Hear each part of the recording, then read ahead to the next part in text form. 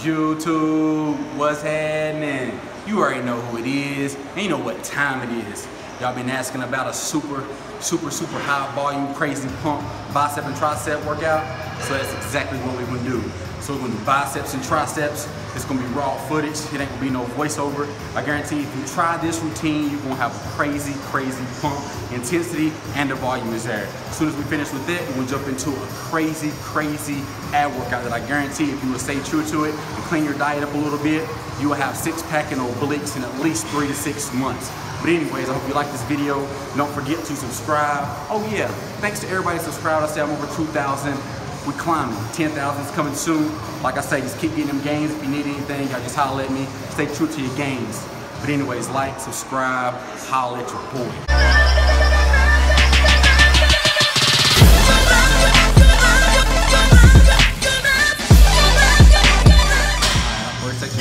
Chin-ups. So, you know, most of the time when you pull chin-ups, you pull with your lats and try to pull back. We're not gonna do that with this. We're trying to emphasize everything in your biceps. So you literally want to pull and kind of curl. Like bring yourself to the weight. And you got four sets.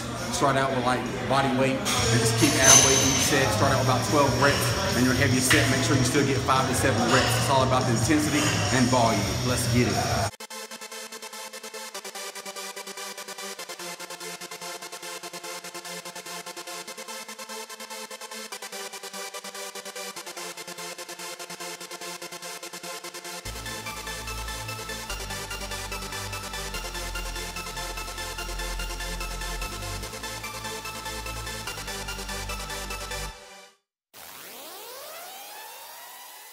All right, next exercise, we'll do the dips. The dips, the thing is, don't go too far down because you're gonna start separating your chest. We're worrying about our triceps to go about parallel and come right before you're at the top, before you lock out, and go right back down. That way you can keep constant tension on your triceps at all times. And you'll see as I get tired, like the last two reps, I damn near lock it out to about 95%, but I never, never lock it out because that will fuck your elbows all up. And I don't want you to do that.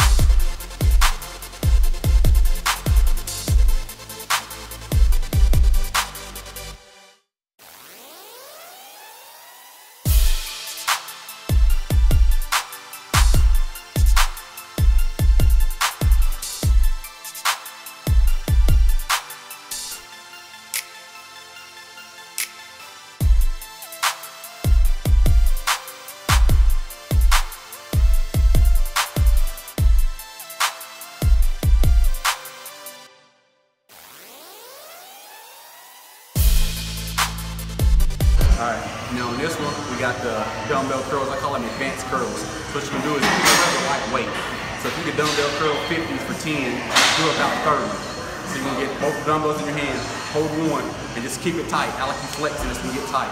And then do five with this one. As soon as you finish your five repetitions, hold this one and squeeze and flex.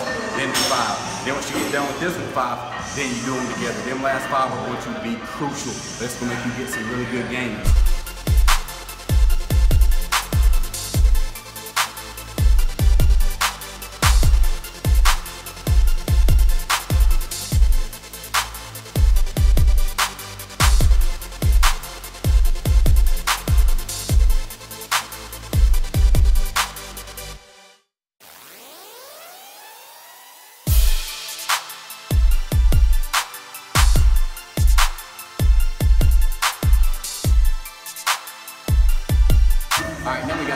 Grip bench press. Probably one of probably one of my favorite, just mass size for triceps. I really like dips too. You know, I always do dips. Let me show you something. There's two different ways to do this, and I see people doing it, and they're gonna hurt your shoulders or wrists. So if you're doing this, keep going like this. Don't be putting your hands super close like this. Don't do this. Take your hands straight up and work your lands. That's what you be. I'd be about right there. Saying? Don't do that. Snap city.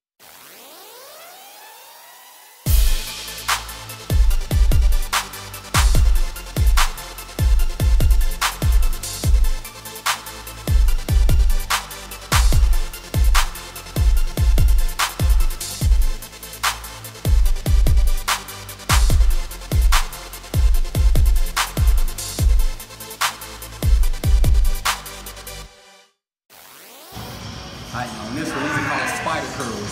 You can definitely use a preacher bar, or use the flat side. That way you keep your arms flat. Because when you do a preacher curl, you're actually kind of hurting your elbows because you got all that weight that's pushing down on your el elbow and your tendons and everything. So stay away from that. This right here is no momentum. You can't swing. You will feel every single inch of the range of motion.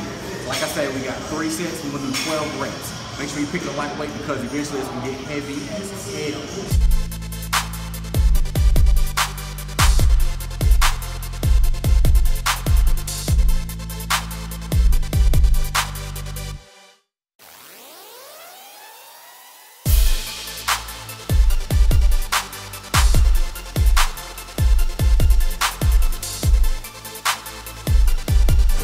These are lying dumbbell extensions. If you pay attention, I'm actually pushing the weight back instead of pushing the weight up.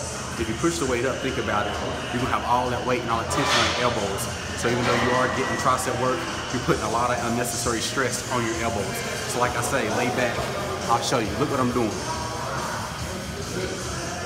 Instead of this, don't do that. Take it, when you do it, twist. You can see how to the tricep three sets. If you use a lightweight, we got three sets instead of at least 12 reps, 12 reps each set.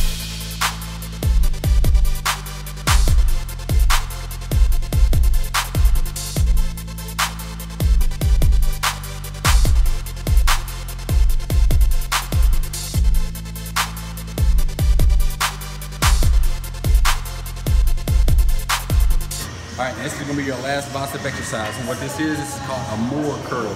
I named it after myself, it's my last name. What you can do is, any station is like this.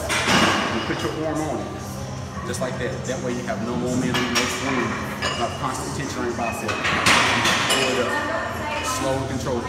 Don't jerk, just slow and controlled. Do it like that, and I'm telling you, it's gonna be one of your favorite exercises. We got three sets, since this is last, we wanna aim for like 12 to 15 reps. Let's get these gains.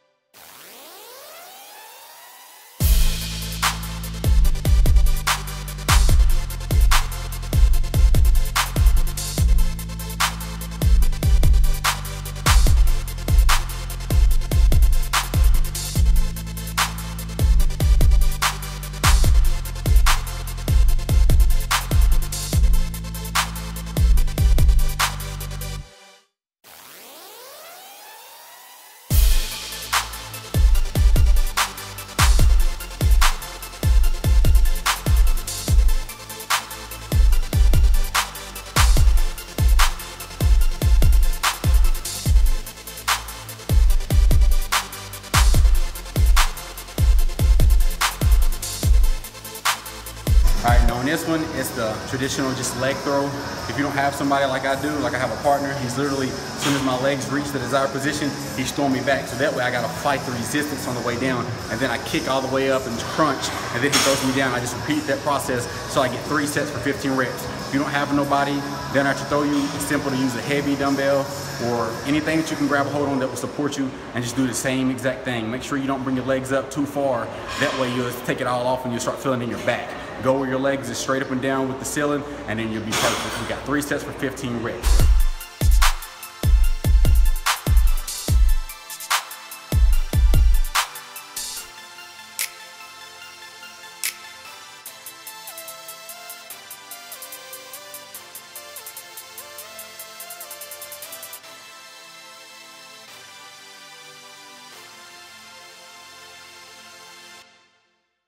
And on this one over here, we're just gonna hold a plate.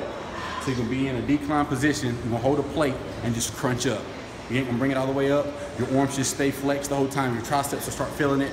We're gonna do three sets for 15 reps, and that is it. Finish strong.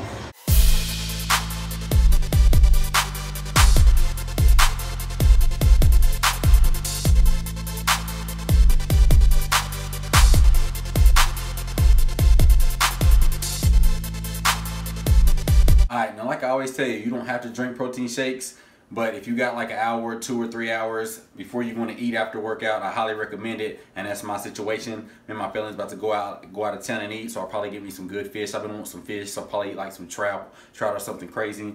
But this is hands down probably the best and cheapest protein shake ever. So if you don't like this, next time you see me, you can smack me. I'm gonna smack you back, but you still can smack me first. but for real, this right here, man, I got this at Walmart. Check this out, man. I'm telling you, this is hands down the best thing to throw in your protein shake. And I think it's like 10 servings, and you get that for like $5. So that is dirt cheap. So we're gonna put a cup and a half. I already got a cup and a half of that. Then I got two cups of my Optimum Nutrition, and it's peanut butter chocolate. You already know it sounds good. Then we got two big tablespoons, uh, actually just spoons. So that's bigger than tablespoons. Tablespoons of peanut butter.